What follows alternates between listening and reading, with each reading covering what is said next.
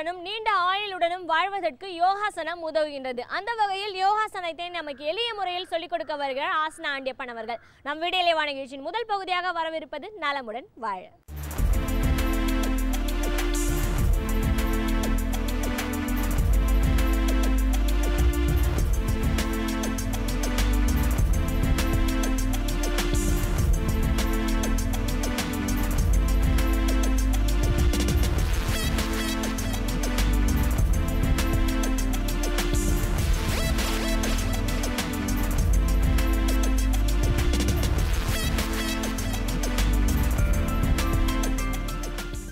என் அருமை உலகத்தமிழ் மக்களே தாய்மார்களே பெரியோர்களே சிறார்களே என் அருமை சீடர்களே யோக நண்பர்களே யோக விரும்பிகளே உங்கள் அனைவருக்கும் என் இனிய காலை வணக்கம்.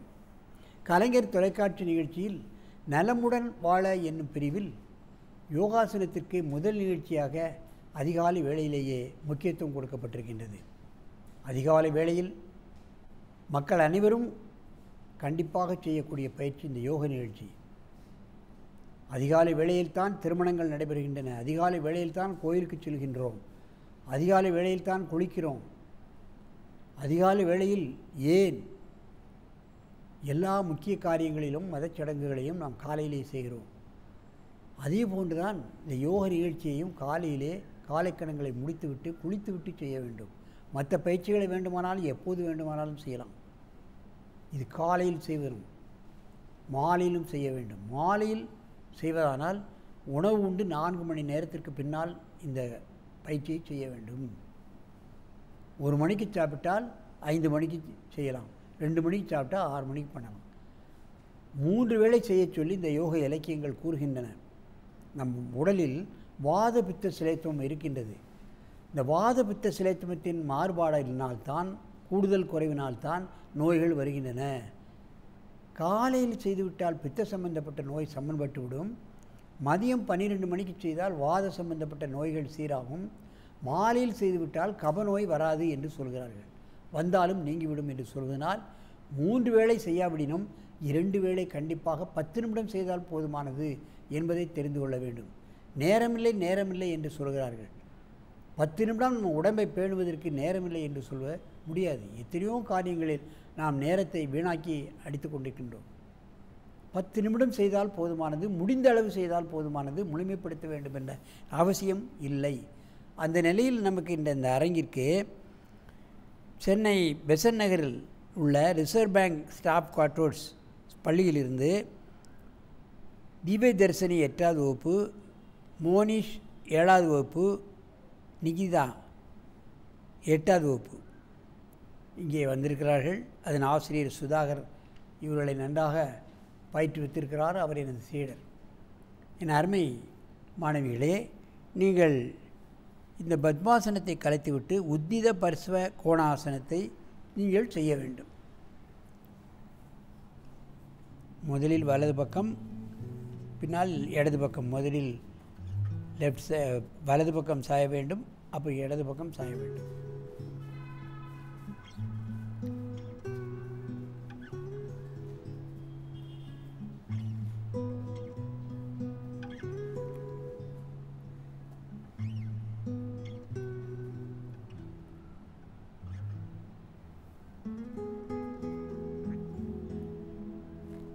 இடது கால் இழுக்கப்படுகிறது பந்துக்கண்ணம் முட்டு இழுக்கப்படுகிறது.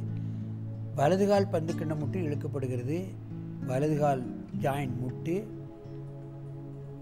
இடது கை மேலே தூக்கப்பட்டு வலது கால் வலது கை கீழே அமுக்கப்பட்டிருக்கிறது. பார்க்க வேண்டும். இடுப்பு சதையை குறைக்கக்கூடியது. ஜாயிண்டுகளை இலக்கமாக வைக்கக்கூடியது. முட்டு வலி இடுப்பு வலி பந்துக்கிண்ண முட்டு வலிகள் இவைகளெல்லாம் நீக்கக்கூடியது. மெதுவாக இந்த ஆசனத்தை கலையுங்கள் நிமிருங்கள். கையை கீழே போட்டுவிட்டு நீண்ட மூச்சு வாங்குங்கள். இப்பொழுது இடது பக்கமாக சாய வேண்டும்.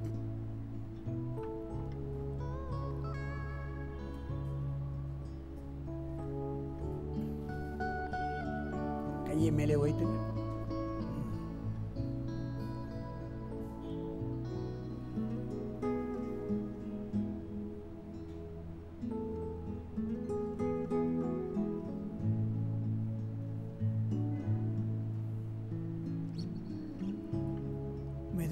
மெதுவாக இந்த ஆசனத்தை கலையுங்கள்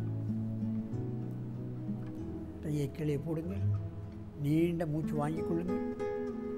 இப்பொழுது ஒருவருக்கொருவர் நேராக பார்த்து கொண்டு இந்த ஆசனத்தை செய்ய வேண்டும். அப்படியே டேனாங்க ரைட் சைடு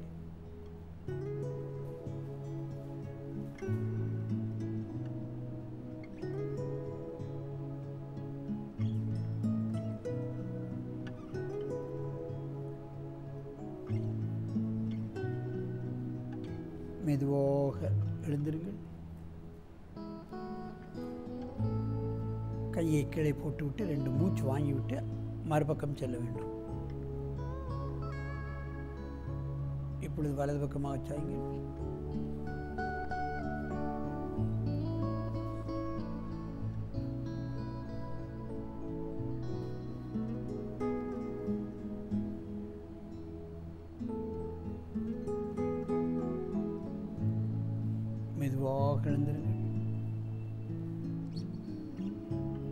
கீழே போட்டுவிட்டு நீண்ட மூச்சு வாங்கிக் கொள்ளுங்கள்.